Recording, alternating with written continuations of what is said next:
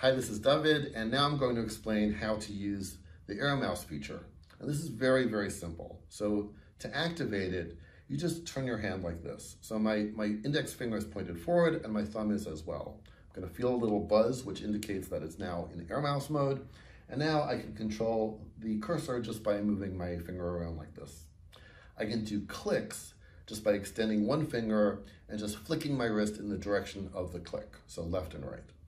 I can do swipes by extending two fingers and then just, um, just flicking in the direction of the swipe, up, down, left, right. Now there's also some special gestures. The first one is just clicking my thumb and index together and that takes you to the home screen, which I guess I'm already at.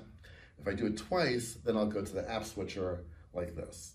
All right, so just to demonstrate some of these things, I can extend two fingers, I can scroll to the left and then to the right, um, I can select something that I want to open and then I can do it with a left click. I can now scroll down or scroll up and I can go back to the home screen with that gesture of um, clicking the index finger and thumb. And that's it.